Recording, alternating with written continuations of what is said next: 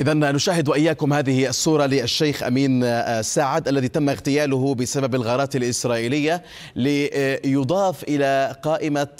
من تم اغتيالهم مؤخرا القيادي محمد صالح والشيخ علي أبو ريا